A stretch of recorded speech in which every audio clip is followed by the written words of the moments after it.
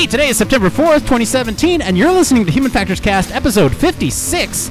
Today we'll talk about robot caretakers for the elderly. Alexa and Cortana are playing nice now, and you'll find out exactly how we feel about the headphone jack. Yeah, that 3.5 millimeter one that you have on every phone, except for Apple for some reason. Anyway, Human Factors Cast starts right now. Let's do it.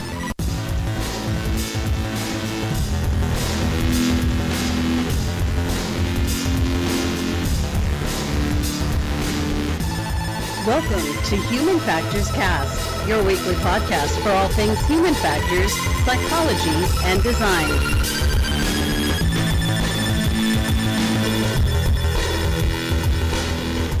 Hello, everyone. Welcome back to another episode of Human Factors Cast. I'm your host, Nick Roome, joined today by my Mr. Caretaker over there, Mr. Blake Arnsdorff. Oh, Mr. Caretaker, indeed. And sorry for anybody that might be able to hear Karlov going on in the background. Oh, I hear it. I hear it. What's going on? Is there, uh, it, hang on. Just let's see if we can hear. Yeah, I totally hear it. Yeah. Going Ah, the sweet sounds of the city. But yeah, it's I don't know what's going on. It just typically happens. But anyway, Nick, how are you? Oh man, I am good. I am good. I had a really busy weekend. Um, doing uh, so, so just to give our listeners some context here, I'm a grown adult, and uh, I'm, I'm just giving you them. sure? Yes, I am. And uh, I spent this weekend looking for Star Wars toys. Okay, explain. What do you mean? So, uh, Star Wars fans have this thing uh, that happens every year or so uh, in September. It's usually the first Friday of September. They call it Force Friday. And uh, it's when all the retailers put out all the cool stuff on, on their shelves, right? This is where that B- that Sphero BB-8 came from. This is, you know, they have this big push, this big marketing push before the movies come out and uh, sometimes they'll have like these little events. Uh, anyway, I, w- I was out there. I was looking for toys. I surprisingly, you want to guess how much money I spent this year? uh, I'd say like what, fifty bucks, maybe. Man, you are that's that's a little high. I actually spent only twenty bucks on Force Friday this year compared to my 150 last year. So big difference. But anyway, I got to talk to you, man. There's this thing. Uh, there. Okay, so augmented reality. We know uh, my interest in that, and it's pretty cool stuff. I uh, there's this little game. Uh, I guess it was like a little mini event where you actually go out to these retailers and they have they have images of characters from the new movie coming up and it's kind of like a collectible game. You go up and scan the code, and um, it- but the codes are embedded into the images, so you can't actually tell that they're code. I mean, I can because I know it is. But for kids, you know, they, they kind of built it into the artwork, so that way you can't really distinguish what. It's not like a typical QR code. It's kind of like these dots that are arranged in a certain pattern. Kind of looks like a splatter. Oh yeah, I saw some of this like on the Target that's near me. Yeah. it had a it had like just picture or I guess like giant stickers of some of the characters from the stories. You got it, yeah. And so you you go up to it with your Star Wars app, and you just scan it, and you get these little collectibles, and it's really cool because uh, you know it projects them into your phone, and you can walk around them, and as long as the pictures in in view, and I mean it's it's pretty standard as far as AR technology goes, but I mean it's it's pretty cool that they're starting to incorporate this stuff into marketing pushes and making it more accessible. All you need is the Star Wars app, right? And you just download this thing, and it uses your camera, and boom, it's there. It was it was a pretty cool thing. That is a pretty epic marketing experience for sure. That's really awesome. So I want to bring up two other things. I know we have a lot of banter to talk about. I see here. Uh, I want to bring up one more thing with Star Wars, and then I'll ask you how you're doing. But there's this thing this year, uh, this new technology from Hasbro. Uh, I don't. Okay, Blake, do you remember when the Phantom Menace came out? There was this uh, sort of technology called uh, CommTech, and it's it had these little chips that came with the action figures, and you'd put it on this CommTech thing, and it used NFC, which was actually really interesting that it was able to use NFC at the time. Right? This was this was late '90s, I think, when um, when the Phantom Menace came out, and so uh, yeah. So was this like playing the voices of the characters that belonged to the chip? You got it. Yeah. So it came with these little chips, and you put it on the CommTech reader, and uh, yeah, it was '99 when this came out, and NFC was such a it was a new piece of technology, and so um, they've they've kind of updated. So they, they came back again, and they're they're coming out with this thing called Force Link, and it's basically like this this bracelet that cuts off your circulation if you're a grown adult like I am, and uh, these action figures, I, I, they come with chips, right? And uh, it's the same kind of concept, except for now it's on your arm and it's embedded into your play. And I, I, I don't have any hands-on experience with this, but uh, it looks like you can kind of make them say whatever you want. So it's enhancing. Um, sort of this uh, this experience for children when they play. Like they no longer have to use their imaginations; they're actually getting lines from the movie directly on their arm as their action. Fa- like I thought it was pretty cool. I, I oh, that's kind of incredible, yeah, because now it's almost bringing whatever they are, are imagining to life just that little bit more, because it's like it's uh, rooted in actual physical reality versus just their minds. Yeah, you got it. And uh, I'm, I'm looking up details now to see if um, if there's any uh, information on this. Yeah, it looks like you just hold it up to the action figure and the sh- and the ships. I think the ships actually have the chips built in, which is pretty cool. And they, you know, make the sounds of the uh, of the the ships and stuff and the weapons and man, it all seems really cool. And I, I wish I was growing up with these toys because man, is this is this a cool thing? This is such a Yeah. cool thing. I might have to uh, I might have to be that grown adult that goes and buys these toys because uh, these are pretty cool. Anyway, man, what's uh, what's up with you?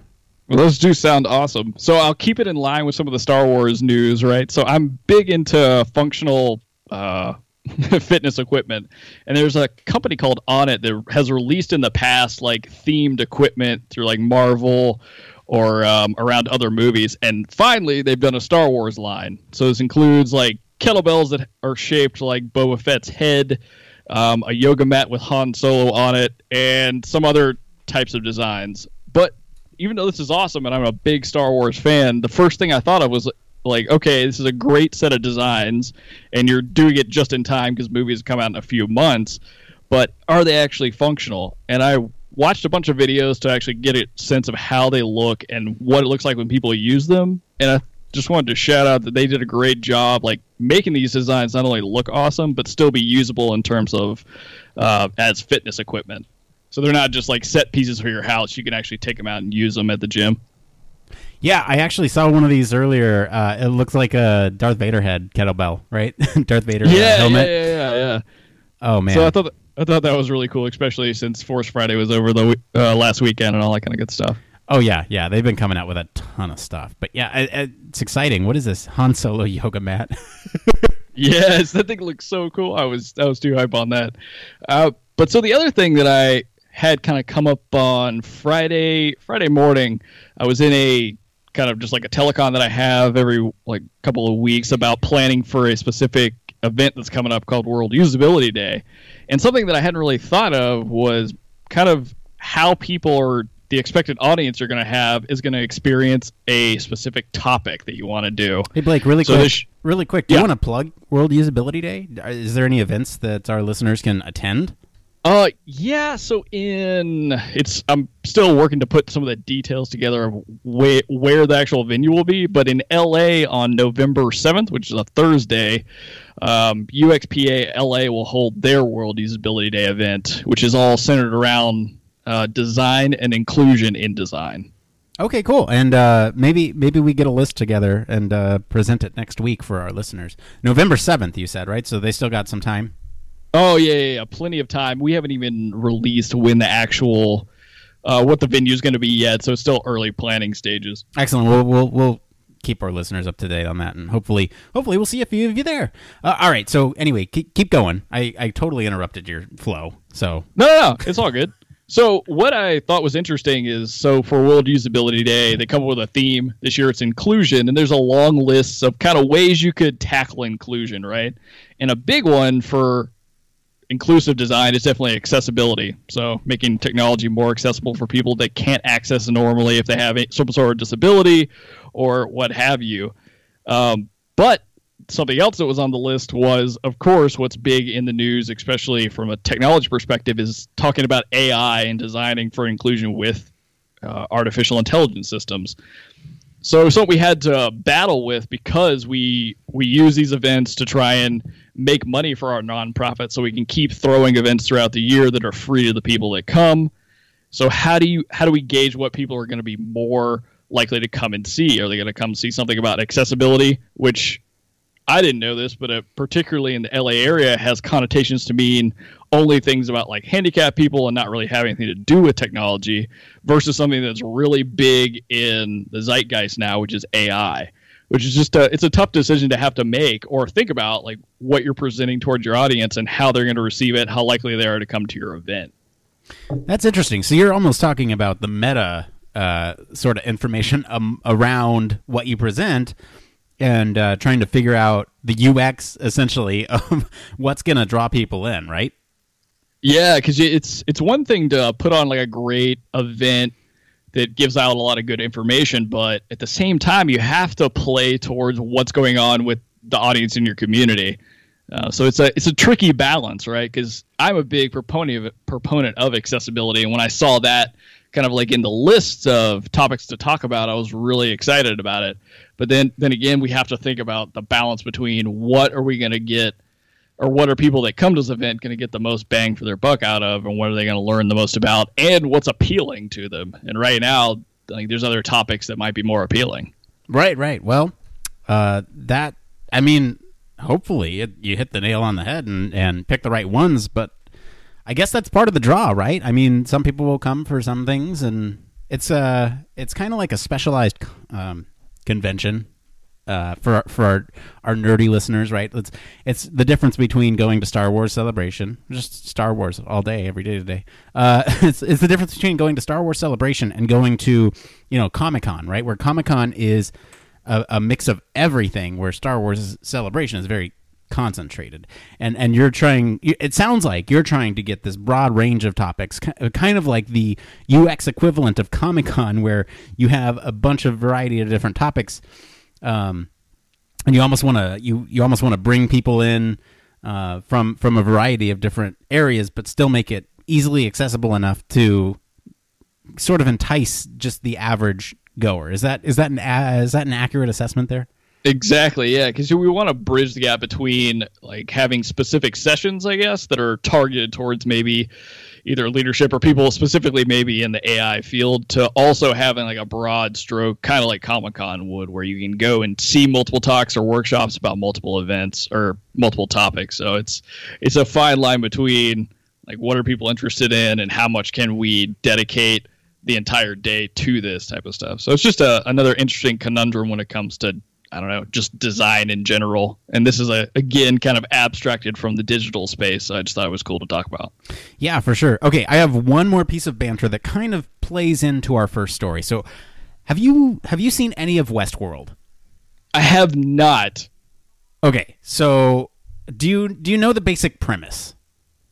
Oh, you know, I really I have a very basic idea of what it's about, but you can give a give the listeners a heads up if you want. Okay, so without spoiling anything, that don't worry, this is Westworld spoilers free, and the seasons have been out for a while, so I'm finally catching up. And Blake, uh, from our little conversation we had before the show, it sounds like you're going to catch up soon too, which is great. We'll have a lot to talk about. But um, essentially, the premise behind this this uh, story is there are oh geez, how do I say this without spoiling it? Uh, there are robots that inhabit this world, right? And um, they kind of interact with uh, the park goers. It's think of it like Disneyland, but instead of Mickey Mouse running around and it's a human inside, it's a it's a robot, and you can you can do anything with these robots, uh, from like quest lines to having sex with them to whatever it is. Right? It's it's Westworld. It's the Wild Wild West. It's set there, uh, and and uh, it, it skirts a lot of the topics that we cover on this show. Let me let me just leave it there. Um, and it's a great segue because our first story is about robots.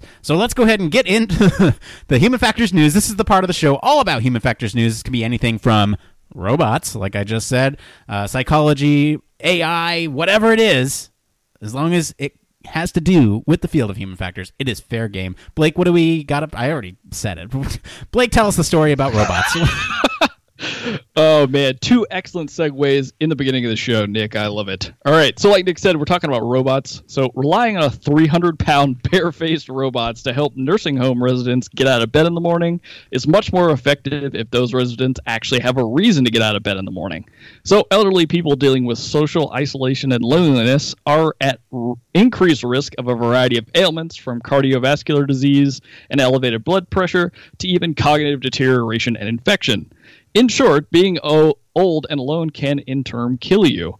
But robots aren't just good for improving elder- elderly people's movement, they're surprisingly adept at keeping retirees socially, emotionally, and mentally engaged as well. So, Nick, this story was kind of, I don't know, insane to me because I didn't realize there was that many robots that had been deployed kind of across the world, it sounds like, that are for specifically helping the elderly. Yeah. Oh, oh, yeah.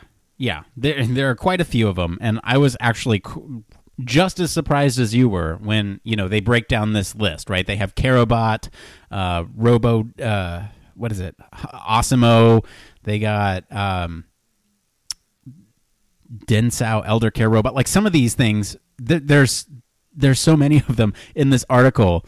I'm trying to pick them out here from our show notes, and it's like, yeah, each one of them has their own kind of specialized task that they do. Um, but I mean, there there are some general purpose ones like uh, like the ASIMO as well. But I I I put this in our notes because it is sort of this um this transition from how to how, or transition from not having robots in our lives to having robots in our lives and what kind of impact uh, we have or they have on our lives right? And man it's so hard to not tie this to westworld uh, but like oh man uh, but yeah no it, it, they're becoming a more prevalent part of our lives and we we really have to sort of incorporate them and what do they do for us as humans? And the fact that you know they're almost like um, companions to the elderly is really interesting right? It's the same thing as, as getting like a, a, a companion pet a cat or a dog to keep uh, older people company right? It- but they're robots and they, they do things they bring you I mean, drinks that- so they talk about in the article there was kind of like three categories of these robots, and I mean it, it starts off with like serving and fetching. So getting people things that makes sense, right? Especially if you have a more immobile uh, elderly adult that that robot's kind of helping take care with. Right. Um, but the biggest parts or the other categories that kind of shocked me, I guess, were were like communicating and emotional support. Because when you think of when I think of robots, I don't think of necessarily the emotional support angle at all.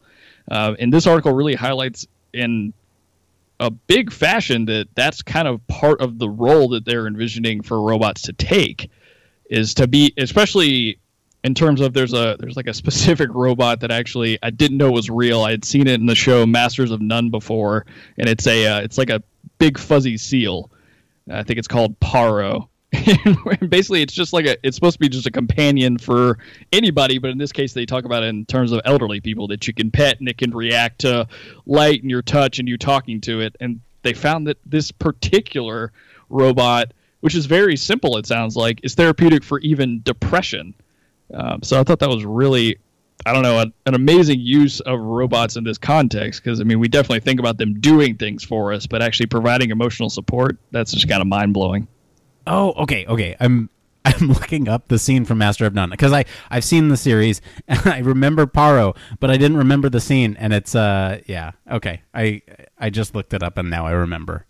Um, but yeah, it, it- man, this is it's just so cool to me. It's so cool to me that we're able to do this, and and the fact that you know these robots don't have to be overly complex, right? The seal that you just talked about, Paro, it's it's very simplistic in its nature. It's just a, it's a, it's it's basically just like a, a pet, right? And or, I mean, not a It's pet. basically like a reactive stuffed animal, is really Yeah. what it is. It's yeah, and I mean, you know, eh, the the part that gets to me, right? And and this isn't even mentioned in the article, but there are implications outside of the elderly, right? We are indoctrinating our children and younger generations to interact with robots. Furbies uh, come to mind. Um, some of these even robotic. Like I remember a robotic Pikachu from a couple years ago. Right, we are sort of building these robots to interact with children. And uh, I mean, I mean, there are several others on the market as well. But how will the relationship change when these generations become older and uh, have to interact with them as well? Is it going to have the same effect when they're older? I mean, I'd imagine the technology will get more sophisticated as time goes on, and um, you know they'll require almost uh, another level of companionship with these robots. But yeah, it, it's it's interesting to think about the future implications of this and, and where it could go, right?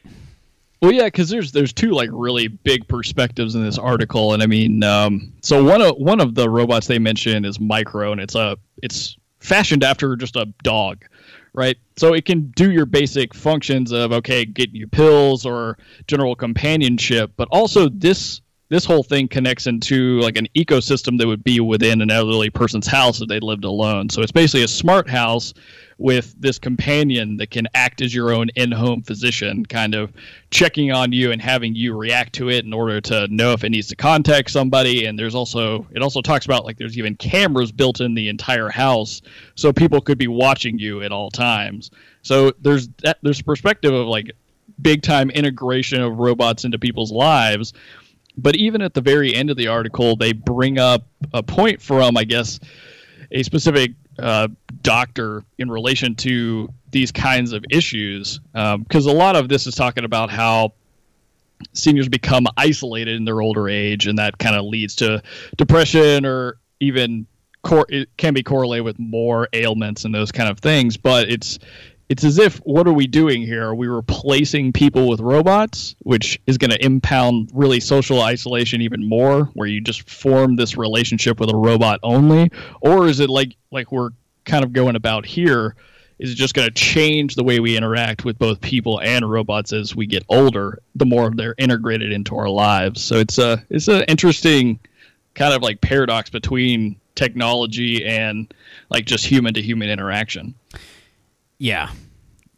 Man, you need to watch Westworld. You need to watch you need to because uh and our listeners our listeners who have watched westworld they know what i'm talking about here there's these issues are throughout the entire series like this is probably you know what the whole thing is about honestly but um no it's interesting that you say that they kind of integrate with these smart homes i wonder if you could ask alexa or cortana uh hey, where eh, you know, bring my robot to me or something, you know, whatever it is, bring the Paro to me, uh, Paro, come here or something, you know.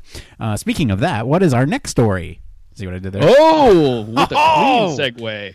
All right, so talking a little bit about AI now. So while Google, Apple, and Samsung are competing to build the smartest do anything personal assistant assistant for your phone, Amazon and Microsoft have elected to take a different approach. They're working together rather than competing. What?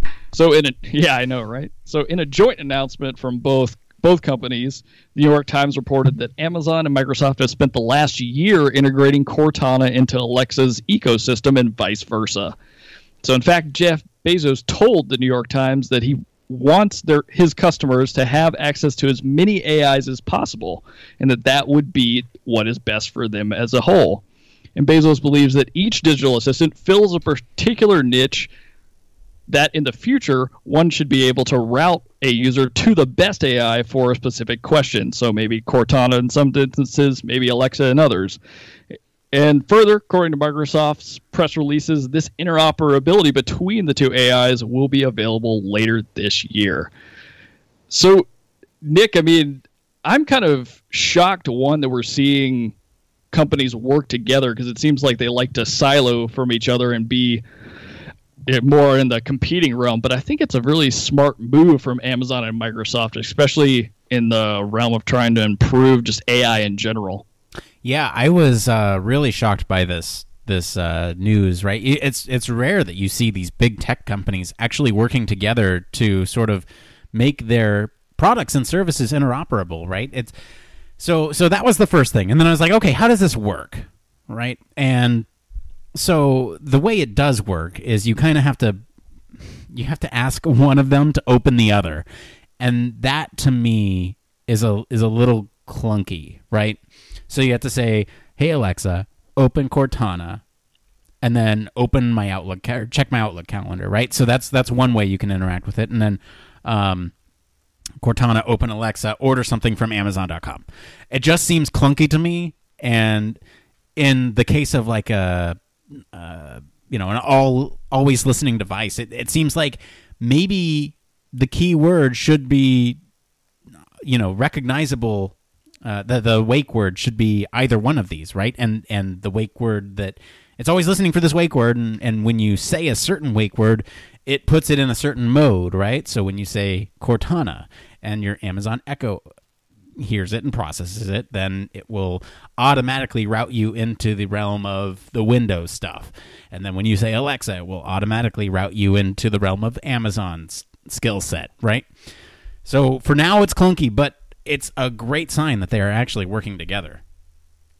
Oh yeah, I mean, I really think that the digital assistant like that fills a particular niche. So in this case, maybe let's think of Cortana as being able to do a lot of things for Microsoft. If you use Microsoft and then Amazon for everything Amazon, I mean, it makes a lot of sense to have them. But I totally agree with you. The way that they're trying to go about it at first crack which this is the first attempt. I mean, you got to do what you got to do. Um, of having one open the other seems really clunky. Like I, I truly agree with that, and, and I, I, see what you're saying about having the specific wake words for them. But I would hope that the eventual goal for this is if it hears a user ask, let's say, um, "Hey, I want to check my email," yeah, that it it knows like, okay, I need to I need to have Cortana do this, or I just need to open this through Microsoft um, not necessarily having to say like, "Hey Alexa, open Cortana. Cortana, can you do this?" So it starts cutting down those like task, like kind of from a task analysis perspective, cuts out one extra step of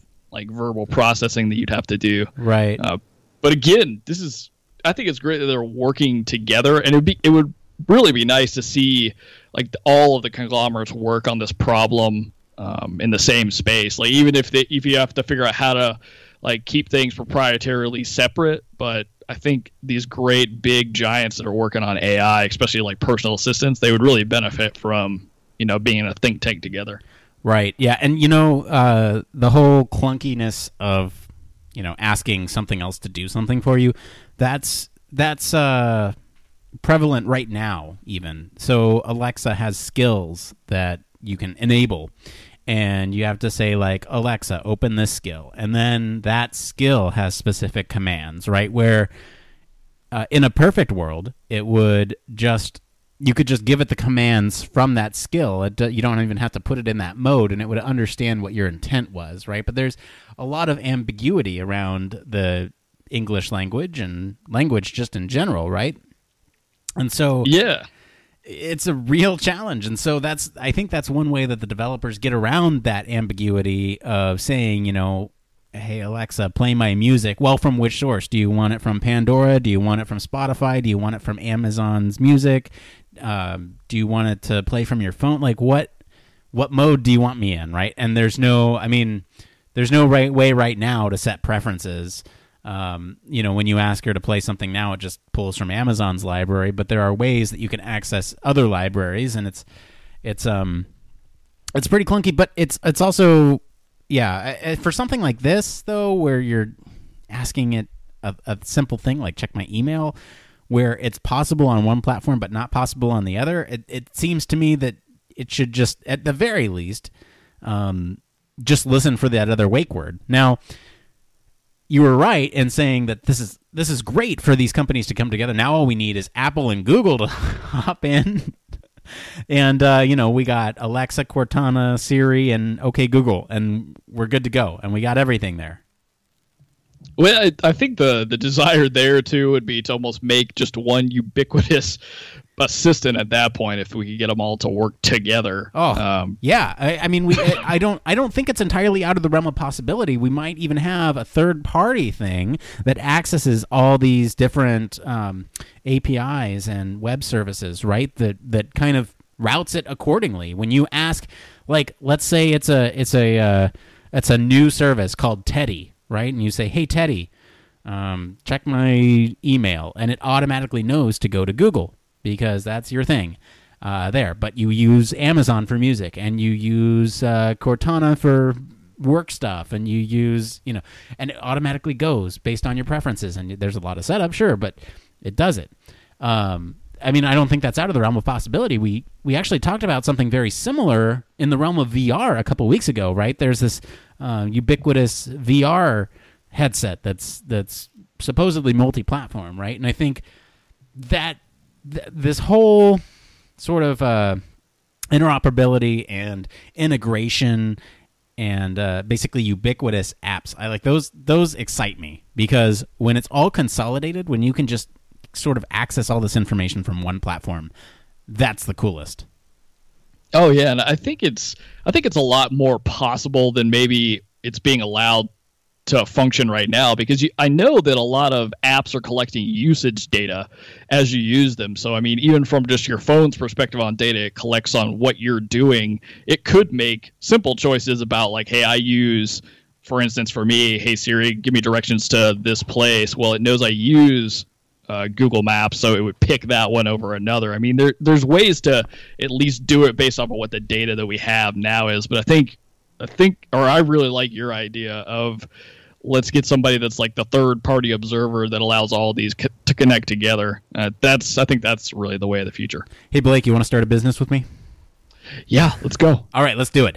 Uh, what do you What do you want to call the? Let's call the wake word Blake. And All then- right, and we'll call it Nick the assistant. Yeah, Nick the assistant. The wake word's Blake. Most unusable AI ever.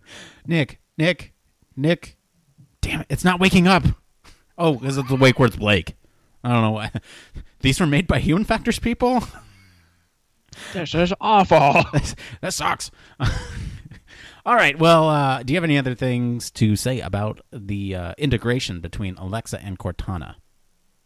I just think it's a it's a great first step. Hopefully, over the next like couple of years, we'll see less of the hey, you do this, and more of just like hey, I want to check my email. Yeah, yeah, I'm I'm hoping so too. All right, well, I just want to thank all of our friends over at Engadget, Gizmodo, Recode, and the Next Web for all of our stories this week. If you guys want to follow along, you can follow us all over social media. We post these stories as we find them, uh, as they come into our uh, sort of social circle and periphery. We send these out to all of our social media. So if you follow us out there, you are getting a first look at what we're going to be talking about on the show every week. Uh, okay, Blake, what do we got up next? All right, so let's talk about a little bit about going to the doctor. Nah. So it may it may seem like Facebook and their doctor's office don't have much in common, but should they? So take for argument's sake, whenever Facebook changes a feature and everyone's up in arms about it with comments like Facebook you're being creepy or I don't like this, Facebook itself will adapt and make changes based on its users or based on data it collects. Well, let's think about this in terms of going to a doctor and if you have a bad experience, whatever it may be, how can you get that changed or even provide feedback about that experience? Right now, you don't really have an outlet for that. But there's a company called Forward that's trying to change some of that. So Forward charges users $150 per month for an all you can use access to its resources. This includes ultimate unlimited doctor's visits, blood tests, and programs like anxiety reduction and weight loss reduction. But the emphasis here is on creating an app like an Apple Store like experience of friendliness and transparency, arming patients with the ability to track their medical history at any time from a companion app. And Nick, I think over the past few probably months, we've seen a lot of talk about at kind of you know tracking your medical history from a companion app and how it's going to interplay with you actually going to the doctor along with like that whole personalized medicine ordeal. And I- think companies like this are starting to move in that direction. Um, I, I, I still wonder how this works because they talk a, a good about good amount about it in the article how like it kind of conflicts with insurance and things like that. But I think this is a cool step in a direction of more personalized healthcare from a technology perspective. Man, wouldn't it be cool if they integrated all this stuff where uh, you know it took data from your Fitbit and uh, analyzed your purchase history and saw that you went to McDonald's five times this month and uh, you know sort of made recommendations based on integrating all the. I'm just playing off what we just talked about, but I mean, um, I think. I'm just so I'm imagining like you, you go into this store and there's a bunch of geniuses there. Uh, and they're like, "What could we do for you today?" And you know, it's kind of like a. But I, I think um, the consolidation of data and and it's, it's almost it's, it's almost seems like an Uber for for uh, like an on demand sort of health thing, right? And also uh, integrating that feedback. There's there's a lot of stuff going on here, and I'm having a really hard time deconstructing it. Right, so there's a lot of things going on. There's there's the feedback. There's all you can use sort of access to it, and also this experience, right, of uh, friendliness and transparency. Um, and so and then there's also this whole piece with the companion app. So so how do you want to break this down, Blake? There's there's a lot of stuff going on here. Yeah, so I think like the biggest deal is kind of how it's how it changes how people view going to the doctor, right? So you, their real goal in terms of as a company is to encourage people to take a more proactive role in their health. So you know, tracking data that they get from various sources, and hopefully, like you just mentioned, it would be at some point, of course not now, like an all encompassing, not just maybe how you're moving, but what you're putting in your body and that kind of stuff. Um, it, but also making like going to the doctor a pleasant experience, right? So it's not necessarily just this, I see you once a year for a short amount of time and we like Right. kind of make decisions about my health based off of that. So I think real, I think the biggest part in terms of like importance is maybe how it's shifting the way people feel about healthcare.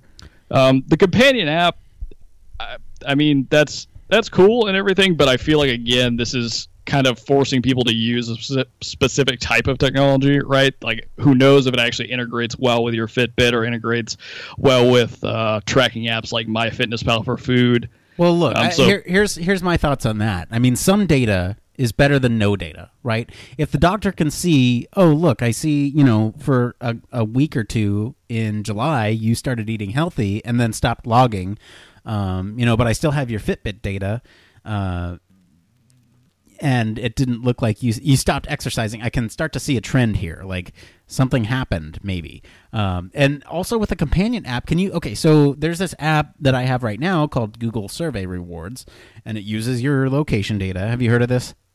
Yeah, yeah, we talked about this on the show before. Oh, did we? Okay, yeah. So it, it uses your location data, pops up with a survey, right? And if you sort of used that model for this health companion app, right? Like, um, obviously you'd have to instill a culture of honesty because people tend to lie when they go to the doctor. Yeah, I'm completely healthy.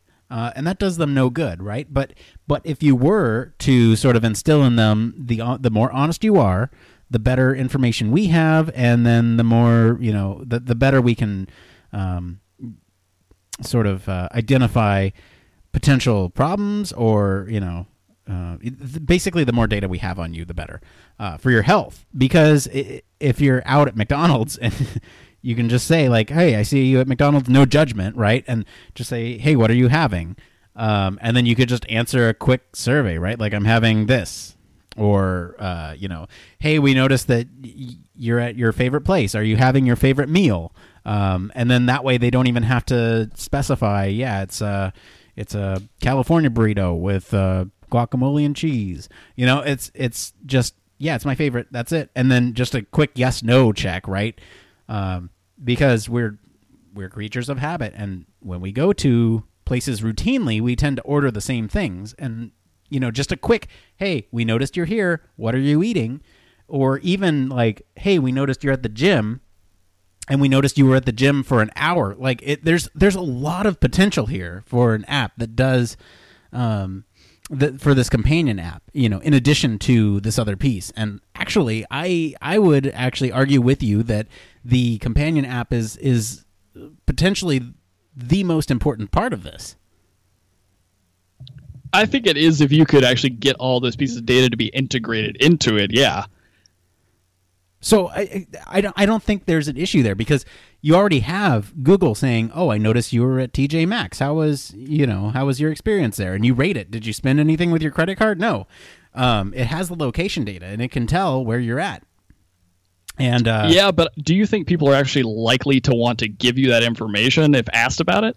it depends. It see it it all depend. It depends on uh on the perception of the app and whether or not it's like officially hospital sanctioned and um you know the the sort of culture behind how doctors and um, you know healthcare practitioners sort of advertise it, right? It's all about the advertisement. If you say, you know, we're going to collect all this data on you, and then we're going to be able to tell, think like, no, don't don't approach it that way. Say, hey, you know, casually, there's this app, and the more information you know we have, it, it's going to help you out because we have a better idea of your health, right? And um, yeah, and I mean, I I see that as also calling out again the importance of kind of like the shift in how we use that kind of data in healthcare because it's not like it's integrated now that Right. most doctors you go to will want to take a look at that data and use it in their diagnosis or even prognosis. Right. Yeah, and yeah. I mean, it would be I'm dude, I'm like on this kick right now of just integrating all this all this stuff, right? So you, we talked about the Amazon and Cortana thing. I'm just thinking now like, man, you could you could hook up anything to this. You could hook up your PlayStation account and oh, I noticed you were on PlayStation for 12 hours yesterday. Did you even move? Your location data said you were in the same spot all day. Like, uh, but your Fitbit says you are working out. So, you know, were you working out while you're watching TV? I don't know. There's there's so many cool applications, and it's just a matter of. Do you want to start a business, Blake? Uh, I think this is the second business of the show, but yes, I do. We are just giving people away ideas. You're welcome. You can write all royalty checks to Human Factors Cast, uh, Patreon. Okay. Uh, all right. So so uh, are, are there any other things that you want to talk about with this thing? Because I I don't want to say we beat this thing to death, but there is so much. There's so much here. that I don't know if we can cover it all in one show. No, there's so many implications to it, especially from data and changing how people think about healthcare. But it was a cool article. I was glad we were able to cover it. Yeah, I mean that was a good find, man. You found that one, um, and uh, asked me for my opinion, and I was like, yeah, let's do it. All right, uh, what's up next? All right. So we're talking about the age old or year old conundrum about should we kill the headphone jack? No. All right. All right, show's over. Show's over. That's it for today, that everyone. was easy enough. Nick, If you wanna- we're done. No, I'm just kidding. I'm kidding. Show's not over. Show's not over. Don't leave yet. All right, go. All right. So about a year ago, a trend began with phone makers removing headphone jacks from their smartphones. Many hoped that this would just be a passing fad, but it looks like we're still in danger of losing one of the most essential features of our phones that they offer today, and that is the headphone jack. So, in an interview with Verge last year, LeEco's president of R&D, Ying Jun, commented saying that ditching the headphone jack and going USB-C only didn't impact the manufacturing process or the gadget maker's ability to save space in its phone design. Okay, Nick. So I have a feeling you've got strong opinions about removing the headphone jack. Don't do it. Don't do it. Why? Well, I, it's been around forever. I mean, it, okay, so their whole argument is that it takes up less space, right? And that's not necessarily true. Uh, so, I mean, you said LeEco's president said this, and and I think that's true. If if you know there there are other phone companies out there that say no, it there's literally no space savings when you take away the headphone jack, uh, and it's something that headphones right now are fairly ubiquitous. You can plug them into any device except an iPhone. You need an adapter to plug into your iPhone that you then plug your supposedly ubiquitous device into, right? We're not at that stage yet where we can walk around with Bluetooth headphones and you know the battery doesn't die and they're powered by your skin or movement or whatever and it you just don't have to worry about it, right? It's we're just not there yet. Maybe in the future, sure, but right now, no. Let's get the technology there before we move on to this whole nother paradigm. It's it's something completely different, like the change from uh, tape cassettes to CDs. That that was a change, but what what was consistent across that change? Well, the headphone jack, right? That didn't change. It was just the way of playing the media. So I I don't know, man. Like I I just think we're not ready for it yet. Technology isn't there. Society isn't there. Yeah, see, I don't I don't know. I had kind of weird feelings about this article um, because I recently did change over to an iPhone that does have the USB C drive or C jack, and this guy in this particular article said he didn't basically, to say it lightly, just didn't want to test it because it he just liked the eight millimeter jack so much or the three millimeter so much. And what I have found using the C or what is it, the USB C, is that the sound quality is great. It's even better than some of the higher quality headphones that I have. That's fair. So, so I mean, I, I don't think that there's so many problems from that perspective. And the big, I mean, the biggest rub is like you're talking about with Bluetooth. You're the problem is you're basically draining batteries from two different places: your phone and the headphones themselves. And nobody wants to run around having to charge both with different, you know, plugs or whatever at all times. But I, honestly, man, I don't know. I mean, in terms of how we've changed how we listen to things, I mean, I'm, I listen to a lot more music on my phone than I used to listen to, and I, I mean, I can't even believe that's true.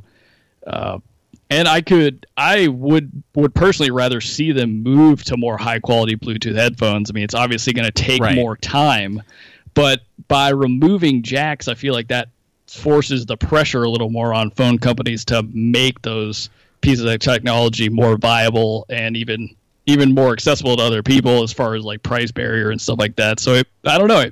By doing this, it might drive that technology to get better quicker. Sure, I, I get that. So let me let me take another third approach here.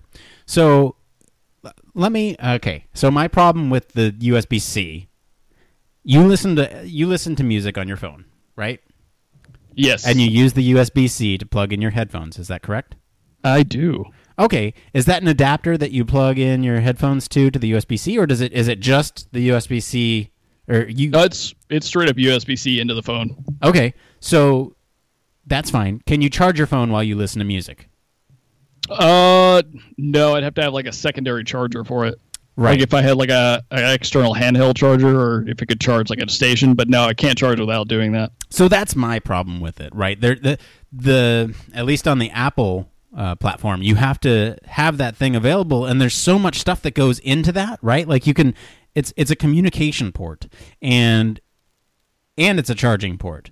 Now, if they set like let's okay, let's say instead of just one USB C at the bottom, it's two of them, right? So you have one to plug in your music to and one to charge with. Would that be that that to me would do it. Like that that would drive technology to get better while still providing the ubiquity of the USB-C and being able to charge and listen at the same time or transfer data and charge at the same time or you know whatever it is. If there's two of them down there, that's that's great. Or double charge at the same time. I don't know if the technology can do that, but damn, that would be cool. Yeah, I mean, I think, uh, I guess maybe their whole idea is moving away from just having the headphones non Bluetooth in general, because that is a giant problem of having to have basically extra pieces, like a sep- separate dongle to give you like a basically a splitter for having your headphones and it plugged in at the same time. Uh, so that does create like such a weird barrier to entry and like like the guy in the article says i'm likely to lose that kind of stuff. Like the only one that i do use is one that i use in my car and i only keep it in there for that very purpose. So Right. i see i see some of the pain points in it but ultimately i think the the C, at least from the usb-c it improved audio quality. Um, so i like it for that but i i do get a lot of the issues, especially with being able to do more than one thing, and also there's not a lot of options out there that exist um, other than Apple's headphones. I think for this for this particular device, so now you're having to buy something extra to use higher quality headphones that aren't necessarily going to use the technology that's built into your phone. There's a lot of mess behind it. Yeah, yeah, it's it really is a mess, and I mm, I tend to agree with the author that we're not ready to get rid of it. Um, but I tend to agree with you that it would drive technology in a in a certain direction and potentially advance us in that regard. So tough call. What do you guys think? Write into the show and let us know.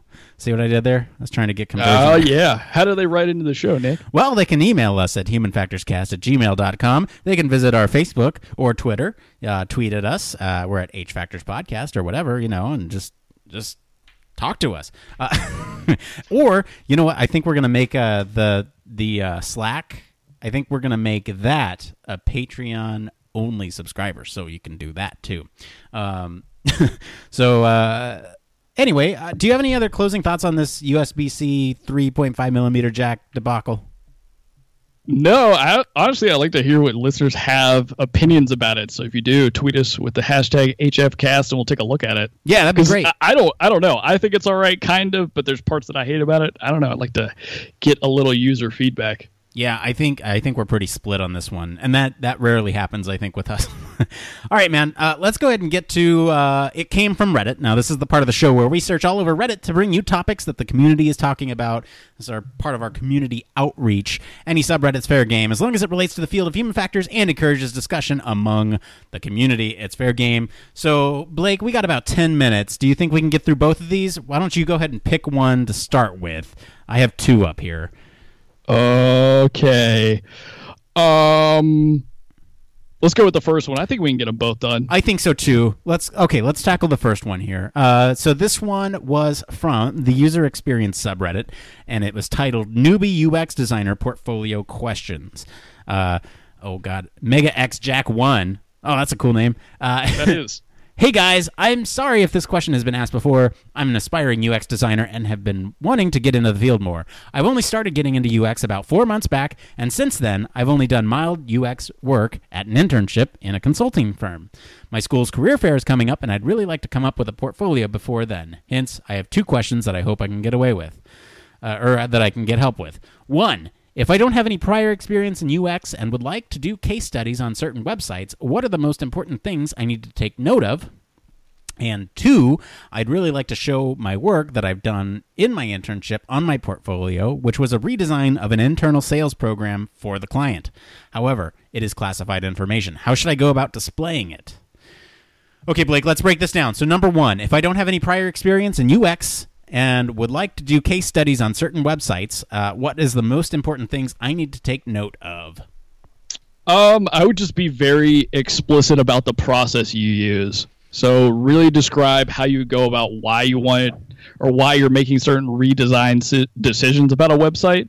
Um, so uh, to do that, I would personally go look up through either Medium or just straight up online search. Look for you like really good UX portfolios that do like case study breakdowns of website redesigns and kind of use that as a guide uh, to help you get through it. Also, if you're going to make like redesign mock-ups, um, one thing that I think is really helpful is not to crowd your portfolio page with too much of um, too much of like all the mock-ups you ever made. Just kind of show the steps you you use. So if you're sketching, show sketching. If you do wireframe, show a wireframe or two, and then show kind of like final product. But allow people to have access or download the work that you've done, maybe through like a slide share or just like a Google slide. Dang it, Blake! You took my answer. Of show the process.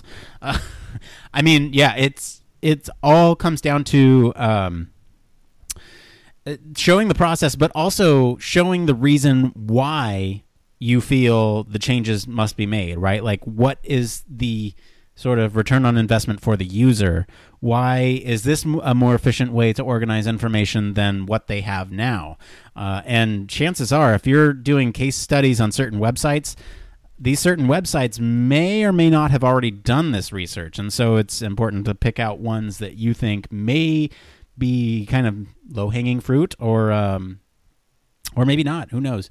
Uh, you know, it could be a tech giant. It could be Amazon for all I know. Maybe find a better way to display results other than faceted filtering or something. I don't. I don't know.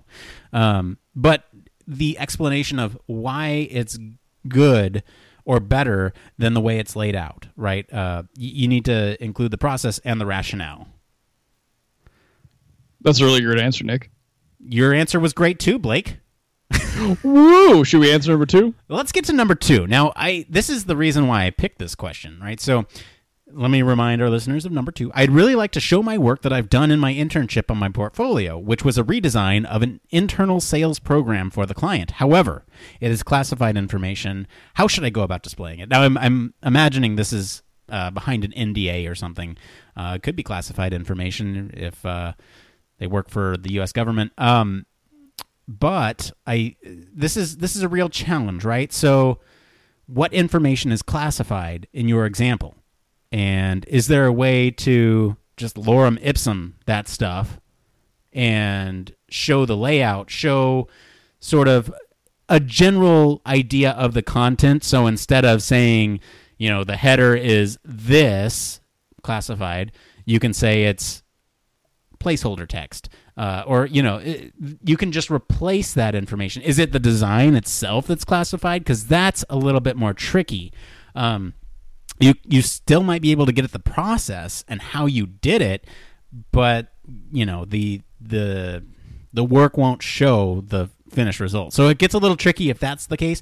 But if you're just looking for like, so this is a really weird example, and I actually saw this uh, a couple years ago. Um, someone was asking, you know, I've done UX for an adult website, and I I obviously can't show my work to prospective employers, and um, you know, someone provided the advice of just change the color scheme, change the name of the website, and uh, say, you know, it was for browsing cat pictures or cat videos, and uh, you know, just replace the content. It people may be able to deduce what it was, but you know, it's all about the process and and and showing the results of the process and kind of how you got to there, right? That's the most important part. So it's it's less about the information and more about what you do to get to that point.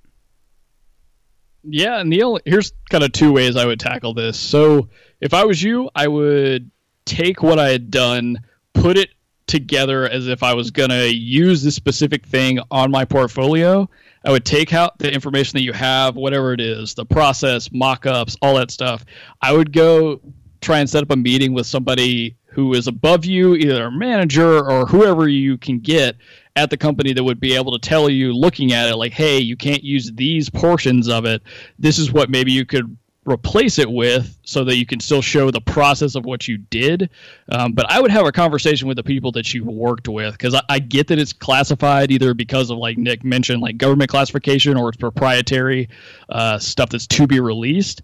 Uh, but likely the people you worked with will help you kind of figure out how to go, especially if this was an internship and you're now moving on to go do other things. Like, I'm sure they'd be more than happy to help you out. If that is not the case, and I know you were kind of on a limited time stretch, um, so you, you may only be able to do the website case studies for this round, but I would really encourage you to get on Reddit and especially the specific subreddit we use. So that's uh, self.user experience. Hey, they, they are on user experience subreddit. Oh yeah, yeah. Okay, so would, they're already there. They're already there. Yeah, but what I would do is I would look for posts when people are asking for help with their websites, so saying, apps, whatever. You're saying use the search function? yeah, yeah. Well, no, I mean, I've uh, so through our Slack app, I've actually gotten to work with developers of apps because I wanted more portfolio pieces for myself that were more UI design um, than analysis and methods driven stuff. So I actually used uh, an example that came up on the user experience Reddit said, "Hey, I'll help you out with building your UI," and they're potentially going to actually use my designs when they finish development. So I, that's another way to go: is just check out Reddit, look for people that want help. There you go. There's a couple other websites. I think 99 Designs. Does that sound right? Uh, there's there's uh, basically sort of do me a favor websites uh, that you can you can sort of outsource not outsource your work, but uh, what's the word I'm looking for? That you can you can do work for other people who are looking for a specific talent, right? So take a look for those. I think 99 Designs is one. I'm not sure. There's there's other freelance websites out there um, that may or may not take your design, and they they crowdsource solutions to their problems, and they pick one, and the one that got picked gets uh, gets money or whatever. You know, so so there are ways to do it. Um, but we got we got a couple minutes left here, and I want to get to this next question here. Do you have any other advice here for uh, what was her name? Uh, Mega X Jack One. uh, yeah, uh, definitely do the 99 designs bit because it actually will. It's like you just said. It's it's basically a competition for a design, so you'll actually have to design something whether it gets used or not. So show the process with that. That's an easy way to go. Yeah. All right. Uh, let's go ahead and get into this next one. This one's this one's an interesting one, and uh, I'm really curious on your take on it, Blake. Uh, this one is also from User Experience, and it was by Poofleberry. Love that name too. All right, so uh, the they write accepted to a UX boot camp, but not sure if I need it. Advice appreciated. Uh, they write. They go on to write. I've been accepted into uh, General Assembly's UX immersive program. However, I've had conversations with a few UX researchers and designers in real life, and many of them have said I don't really need to do the boot camp in order to build a portfolio or even to get a foot in the door, given my educational slash professional background. I'm wary of that piece of advice because these people have master's degrees in HCI or industrial design. Hey, uh, here's my background: master's in sociology uh, I have training in research methods. Uh, I'm skimming here. Six years of professional research experience in digital marketing slash advertising analytics. Uh, experience with front end development. I'm pretty good with design tools like Photoshop and Illustrator. Uh, and they go on to say, ideally, I'd want to be in a more research focused role, which plays well with my background anyway. Right now, I have a couple of op- options. Go do UXDI and utilize the network and career resources of General Assembly. Do a HCI certificate program instead from a local university that is known for their HCI program. Um, and the last one is F it, do none of the above, learn on my own, build the portfolio, and hope for the best. What would you do? So, Blake, UX Uh. boot camps. So loaded. Um, this one's kind of interesting because I wouldn't have expected somebody with this much experience to be having this question. Um, uh, what I would say is you hit on exactly the only reason I would go through this in your case, which is for the connections that can possibly give you.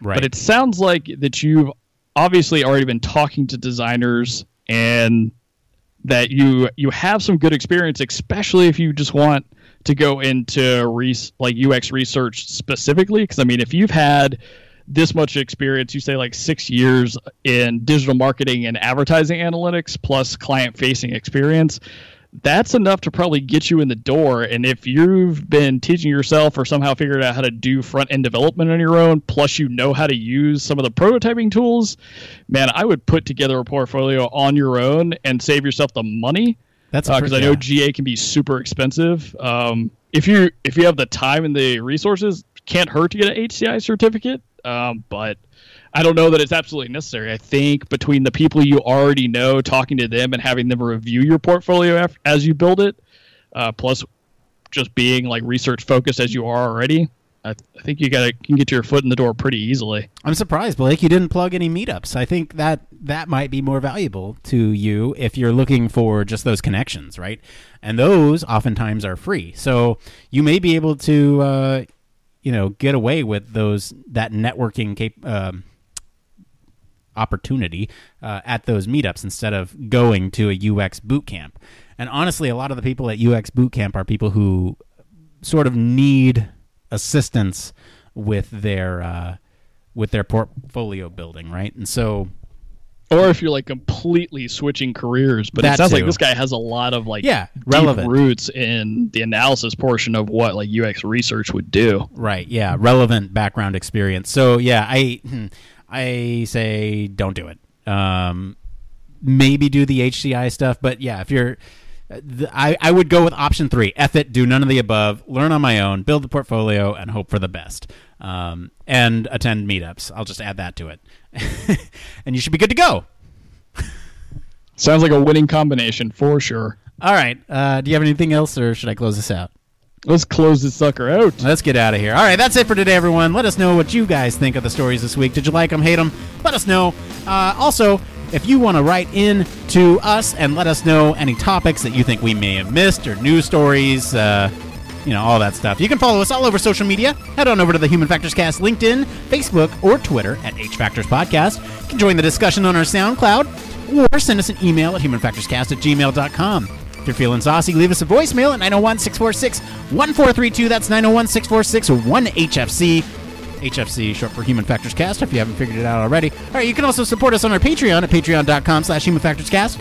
One of the rewards for that coming up soon is going to be joining us on a custom Slack channel where you can chat with us 24 7. Be sure to like, subscribe, review us on Apple Podcasts, the Google Play Store, or your favorite podcast directory. And of course, you can always reach us on our home of the web, humanfactorscast.com. Mr. Blake Arnsdorff, uh, what did I call you at the very beginning? Caretaker. Thanks, for, thanks for hanging out with me on the show today. Where can our listeners find you if they want to ask you any questions about UX, psychology, design, whatever it is. Of course, you guys can ask me about anything that Nick mentioned and hot dog banter at Don't Panic UX. Get anybody talking about hot dogs with you? Uh, unfortunately, not. I thought that some people would jump on that, but not recently. Ah, go talk with Blake about hot dogs. As for me, I've been your host, Nick Roome. You can find me on LinkedIn or Twitter at Nick underscore Roome. Thanks again for tuning in to Human Factors Cast. Until next time, what is it, Blake? Uh, it depends. It depends. Robots, caretakers, Star Wars toys. Got anything? Uh, no to UX cert programs. No UX cert program. Show the process. Portfolio. 3.5.